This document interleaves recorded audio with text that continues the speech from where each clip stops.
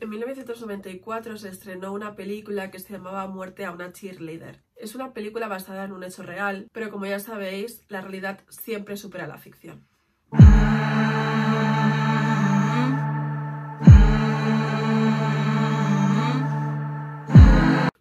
Hola mis babies, ¿cómo estáis? Espero que estéis súper bien. Yo muy feliz de que estéis aquí un domingo más conmigo. Antes de nada, ya sabéis, suscríbete si aún no lo estás, dale a la campanita para que YouTube siempre te avise cada vez que subo un vídeo. Dale un like si este vídeo te ha gustado, déjame un comentario de amor y por aquí te dejo una lista de reproducción de más casos, así que sin más preámbulos comenzamos, así que go. Nuestra protagonista es Kristen, Kristen Costas, era una chica de 15 años que nació en el seno de una familia muy bien posicionada económicamente. Su padre era Arthur y su madre era Berit. Además de eso tenía un hermano pequeño que se llamaba Peter. Crecieron en una pequeña ciudad suburbana llamada Orinda y era una ciudad muy segura, perfecta para criar hijos. Kristen estudiaba en la escuela secundaria Miramonte y todo el mundo la recordaba como una chica muy simpática, siempre dispuesta a sacarte una sonrisa, divertida, siempre a la moda y muy muy sarcástica. Kristen era una chica muy ambiciosa y era algo que le habían inculcado sus padres. Ellos querían que sus hijos fueran gente que tuviera un alto nivel social y les estaban dando una educación para que el día de mañana fueran personas importantes. Esto para Kristen era muy importante, así que era una chica muy activa en todo lo que podía hacer en las diferentes facetas del instituto. Formaba parte del equipo de natación y del comité del anuario de la escuela. Aparte de eso, audicionó para ser animadora y justamente le aceptaron. Lamentablemente, con ella audicionó una de sus compañeras que se llamaba Bernadette Proti y a ella la dijeron que no. Como os he dicho antes, Kristen era una chica muy popular, por no decir la chica más popular del instituto, y Bernadette, aunque era una chica que también formaba parte de aquel grupo, no alcanzaba su estatus. Bernadette era una chica de una familia muchísimo más humilde que la de Kristen. Aparte sus padres eran más mayores, según ella no eran tan modernos ni le podían ofrecer tantas cosas pues como le ofrecían a todas sus compañeras. El sueño de Bernadette era formar parte de aquel grupo social y poder ser una chica popular.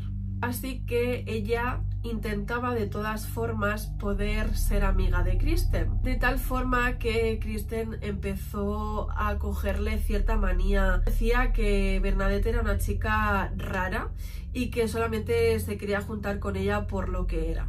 Que siempre hacía la pelota, le reía las gracias y que ya le parecía extraño. Como os he dicho antes, Kristen era muy sarcástica y más de una vez dijo comentarios desafortunados.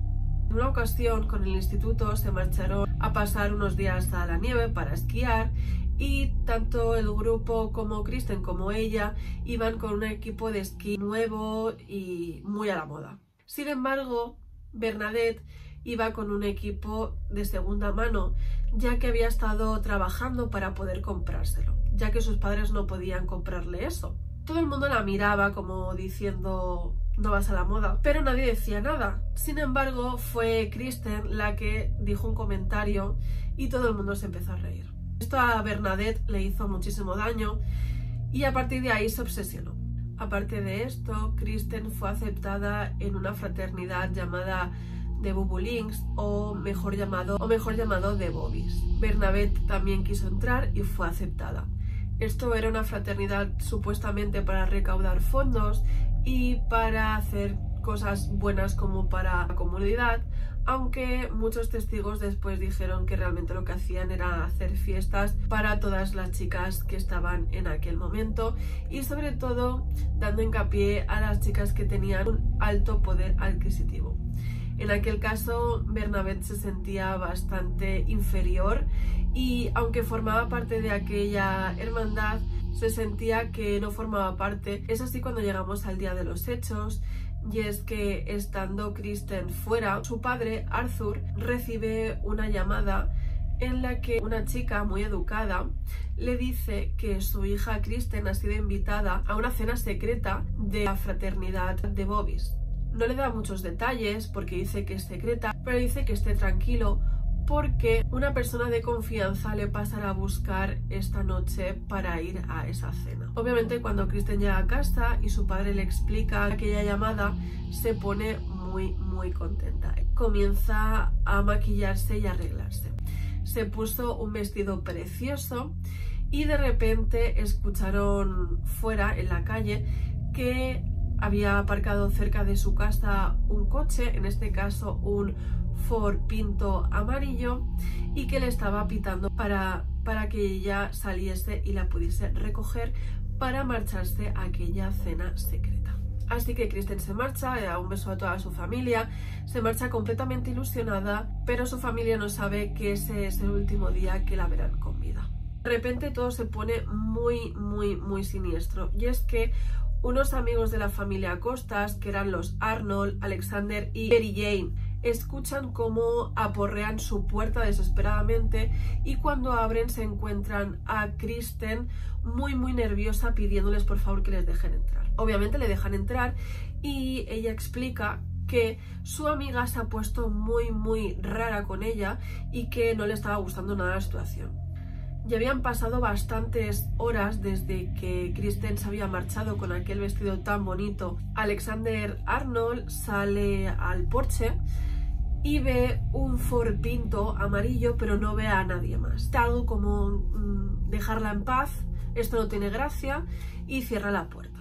Intentan preguntar qué es exactamente lo que ha pasado, porque, por qué está tan alterada, pero ella no da muchos detalles y es más, es como que le quita hierro al asunto. Dice, no, realmente ha sido mi amiga que se ha puesto un poco extraña conmigo y no me ha gustado nada. Kristen le pide tanto a Arnold como a Mary Jane que si podía llamar por teléfono a sus padres para que le vinieran a buscar. La familia Costas no está en casa, así que no le pueden coger el teléfono lamentablemente. Alexander Arnold, que era muy amigo de la familia Costas, decide acercar a Kristen a su casa.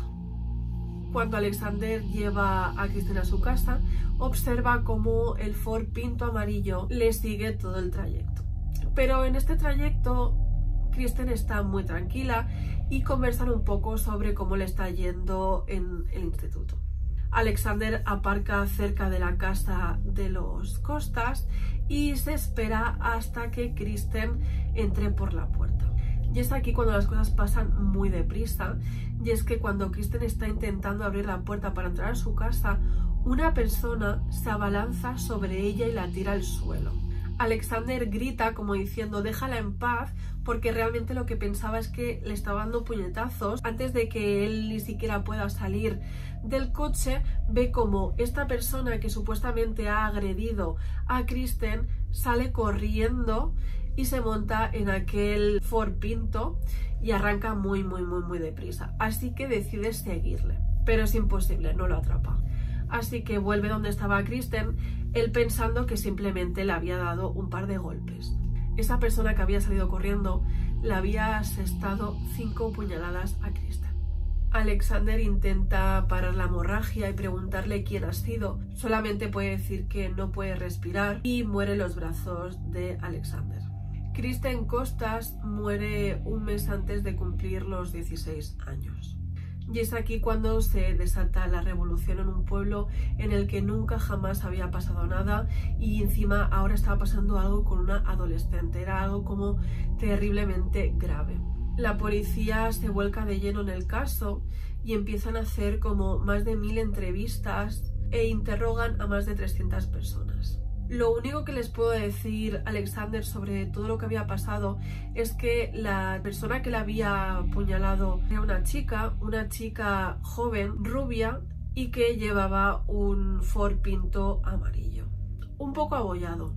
Orinda había pasado de ser aquel lugar donde las chicas paseaban libremente y hacían mil millones de actividades al aire libre a ser un sitio donde las madres y los padres no dejaban que sus hijas fueran solas a ningún, a ningún sitio. A pesar de que la policía seguía trabajando en aquel caso, ellos creían que iba a ser un caso bastante fácil de resolver, de que era un pueblo muy tranquilo y quien quisiera haber sido el asesino de Kristen, supuestamente le iban a encontrar rápido, pero nada más lejos de la realidad. Y es que pasaron meses sin poder encontrar nada. Sin embargo, la sociedad de Orinda ya encontró un culpable, que era Nancy Klein. Nancy Klein era una chica gótica que en aquel momento, estamos hablando de los años 80, era como muy extraño, ¿no? Que una chica tuviese tanta personalidad como para ser una mujer gótica. Todo el mundo empezó a culparla sobre aquel asesinato teniendo en cuenta de que Alexander Arnold em, había visto una chica rubia y Nancy Klein era una mujer con el pelo negro, teñido. Enseguida la policía le interrogó y se dieron cuenta que tenía una coartada completamente sólida, pero Nancy recibía aún así muchísimo bullying, que en aquel momento obviamente no se llamaba ni siquiera así. Decidió incluso marcharse de la ciudad porque era insoportable todo el acoso que estaba recibiendo. Así que seguían de la misma forma, no tenían ningún culpable, pero el padre de Kristen, Arthur Costas, presionó muchísimo a la policía para que por fin encontraran el culpable. Él seguía manteniendo que estaba seguro de que el asesino de su hija formaba parte de la escuela secundaria Miramonte y no se equivocaba. Tanta era la presión que hizo el padre de Kristen que la policía cedió aquel caso al FBI y en aquel momento pasó una cosa muy importante que nos repercute hoy en día. El FBI hizo un perfil psicológico sobre el asesino para saber qué rasgos de personalidad, conducta y físicos podría tener. Tras este perfil psicológico, el FBI dijo que probablemente la persona que había asesinado a Kristen fuese una persona que tenía su misma edad, una posición social más baja, que no muestra remordimientos y además que tenía pinta de ser una persona cristiana. En paralelo a la investigación del FBI, la familia Costas, al ver que esto se estaba atrasando tanto, contrataron a un investigador privado. Y como os he dicho antes, la policía había interrogado a más de 300 personas, incluidos a Bernadette Proti. Esta le había dicho a la policía que aquella noche había hecho de niñera para una familia de la ciudad, pero esa coartada no fue comprobada. Así que cuando el investigador privado de la familia habló con esta familia, dijo que Bernadette llevaba aproximadamente un año sin hacerles de niñera para sus hijos. Además de esto, un dato muy curioso es que Bernadette prácticamente había cogido el rol que tenía Kristen y ahora era la chica más popular del instituto. Además, como os he dicho antes, ella formaba parte de la fraternidad de Bobbies y esta fraternidad se dedicó en cuerpo y alma en intentar ayudar con la investigación de la muerte de Kristen ponían carteles, incluso preguntaban o hacían sus propias pesquisas y ella era prácticamente la primera en estar al pie de cañón en esa investigación. Incluso en su funeral obviamente fue toda aquella fraternidad y ella lloró muchísimo en aquel funeral. Pero obviamente con todo lo que estaba pasando pusieron en el punto de mira a Bernadette. Cuando volvieron a interrogar a, a Bernadette, y le, y le dijeron que la coartada no coincidía. Ella simplemente dijo, pues parece que no, que no coincide. Le dejaron marcharse porque todavía no tenían ninguna prueba fehaciente de que ella había sido la culpable, así que se marchó a su casa. En aquel momento intentó hablar con sus padres, pero no estaban, así que cogió un trozo de papel y escribió una carta. Queridos papá y mamá, he estado tratando de decirles esto todo el día, pero los amo tanto que es demasiado difícil. Así que estoy tomando la salida fácil. El hombre del FBI cree que lo hice, y él tiene razón. He podido vivir con esto, pero no puedo ignorarlo. Es demasiado para mí y no puedo seguir engañando. Por favor, aún ámenme. No puedo vivir al menos que me amen. He arruinado mi vida y la suya y no sé qué hacer. Estoy avergonzada y asustada. Bernabet. Postdata, por favor, no pregunten cómo podía haberlo hecho o por qué, porque no entiendo esto y no sé el por qué. Y así es como el 10 de diciembre de 1984 Bernabet deja esa carta en la mesa de la cocina y se marcha al instituto. Y por la mañana su madre lo lee. Obviamente, imaginaros, él leyendo esa carta. Y se marcha corriendo a buscar a su hija para hacer una confesión. Algunas fuentes dicen que la madre de Bernadette estuvo unas horas con su hija para despedirse. así que os voy a contar qué es lo que realmente pasó aquella noche. Obviamente, como ya os estáis imaginando, aquella llamada misteriosa de la cena secreta de la fraternidad de Bobis la hizo Bernadette. Kristen salió de su casa y vio a Bernadette en el coche y ella le confesó que no había ninguna cena y que lo que pasaba es que ella quería hablar con ella porque sentía que la odiaba y no sabía por qué, que ella lo único que, lo único que quería era ser su amiga. Obviamente Kristen estaba muy decepcionada y muy enfadada con ella y además no le gustaba estar con ella porque sentía que Bernadette lo único que quería era como copiarle y estar todo el rato encima de ella. Obviamente Kristen estaba muy muy muy enfadada con ella y estuvieron discutiendo bastante rato. Según Bernadette, Kristen le dijo a ella de que ya que estaban en el coche que se marcharan a un lugar un poco apartado para fumar pero que decía ella, Bernabé, que no, que ella no quería. Que ella lo que quería era marcharse a una fiesta que se estaba haciendo por ahí cerca y que Kristen no quiso porque no estaba invitada y que no quería ir a ninguna fiesta en la cual no estuviese invitada. Esto que estuvo declarando Bernadette era un poco extraño porque la gente decía que Bernadette hacía todo lo que Kristen decía y si Kristen hubiese dicho vamos a fumar yo hubiese aceptado de una. Que, y es así como Kristen empieza a exigirle que le lleve a casa y esta no quiere. Kristen sale muy enfadada del coche y se marcha a casa de los Arnold.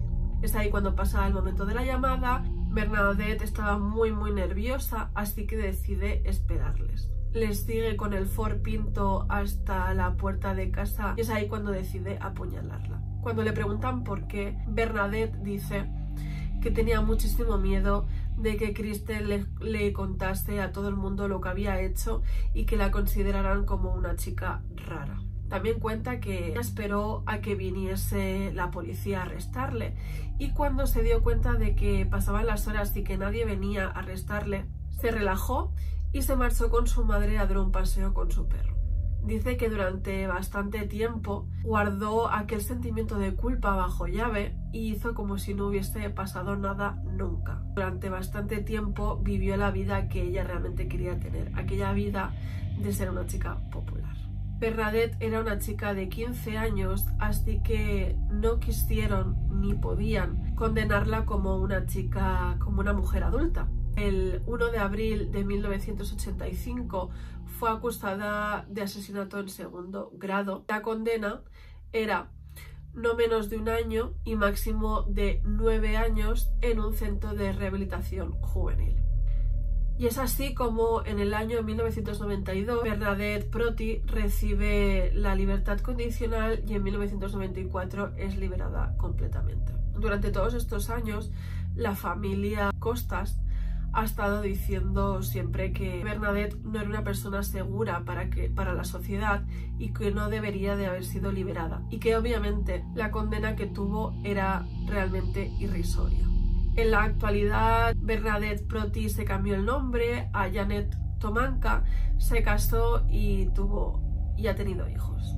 Así que esta es la historia de Kristen Costas. La verdad es que es una historia muy fuerte es una historia muy fuerte porque en la película que salió en el 1994 se habla sobre una animadora eh, mala eh, que, bueno, pues eso, que tiene unos sentimientos muy malos, que critica a todo el mundo, que prácticamente hace bullying y a una chica a la que están interpretando como a Bernadette, pues una chica, pues eso, que, que está marginada, a la que cual le tratan muy mal. Y aun, el, siendo Kristen una chica muy sarcástica, que es como mucha gente la, la describe, y que muchas veces tuvo comentarios muy, muy desafortunados, pienso que no se podía comparar o no se merecía ese final. Igualmente, por mucho daño que le hiciese a, a Bernadette, Kristen no se merecía haber muerto de esta forma. Déjame en los comentarios qué te ha parecido este vídeo. Yo la verdad es que es, es una cosa que es que realmente es de película, o sea, es que es como una historia realmente de película, pero no, esto pasó en la vida real. Déjame en los comentarios algún caso que te gustaría que trajese al canal. Muchísimas gracias por verme y nos vemos el próximo domingo, como la cara ya lo sabéis. Os adoro.